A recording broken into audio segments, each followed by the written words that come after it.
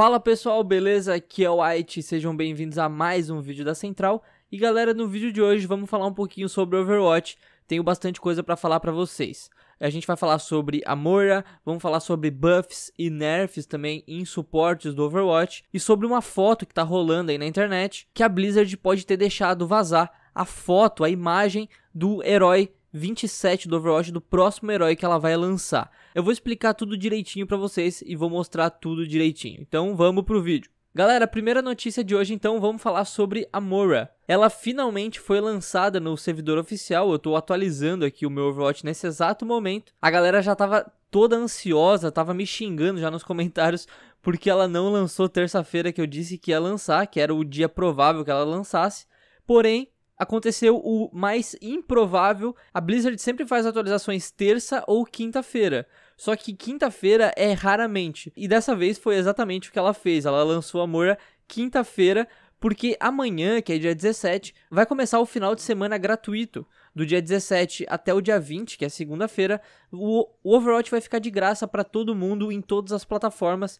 Então você vai poder testar a Moura se você não, não tem o Overwatch. E você que quer comprar tal, provavelmente tem algum desconto amanhã, não é certeza, mas pode ser que aconteça. Agora vamos passar para outra notícia que é sobre nerfs. Vocês lembram que tinha no PTR uma modificação na Mercy e também na Ana, que tava todo mundo cabreiro, principalmente com a Mercy? Então, galera, essa mudança chegou no servidor oficial e é basicamente isso aqui, ó. A Mercy agora, quando vai reviver um aliado, o revive dela tem um cooldown de habilidade, de animação ela vai demorar 1.75 segundos para poder levantar o seu aliado. E isso é muito tempo dentro de um campo de batalha onde você pode ser morto a qualquer momento. Até porque você precisa chegar muito perto do seu aliado para poder reviver ele. E provavelmente quando você for fazer isso você vai morrer.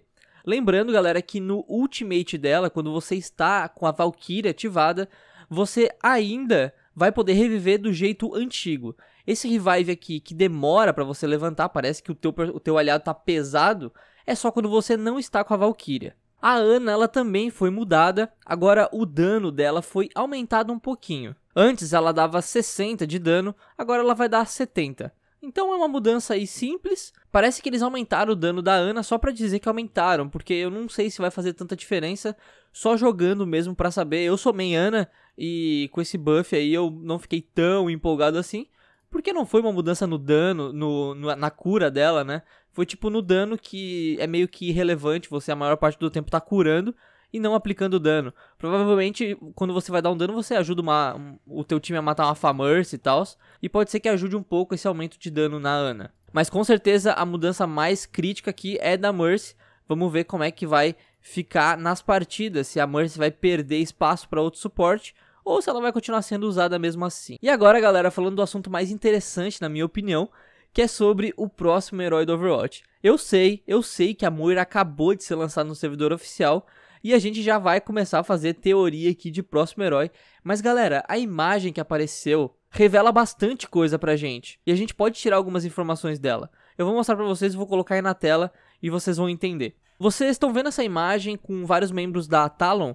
Temos a Moira, o Reaper, temos o Doomfist, ali no canto esquerdo, eu não consigo ver direito quem é porque tá cortado. E no meio a gente tem o Maximilian, que a gente vem especulando há bastante tempo. Mas não é dele que a gente vai especular aqui que pode ser o próximo herói.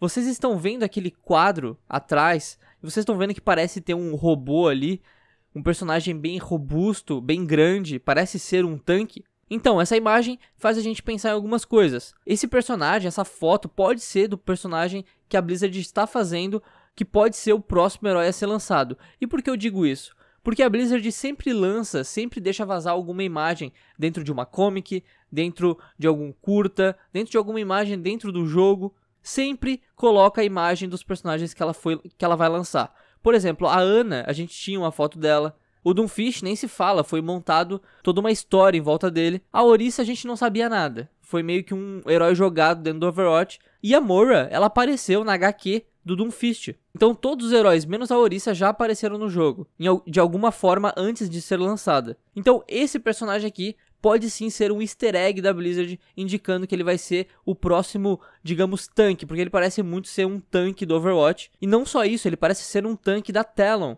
Aí eu fico pensando, será que eles estão criando esse personagem ou ele já existe na história do jogo? Bom, agora é só a gente esperar para ver o que, que a Blizzard vai falar nos próximos meses aí, porque em março deve estar tá lançando o próximo herói do Overwatch e as grandes apostas são Maximilian, Agora temos essa nova imagem aí, que pode ser o próximo herói, e também a rainha, que já apareceu em fotos dentro de Junkertown, do mapa de Junkertown.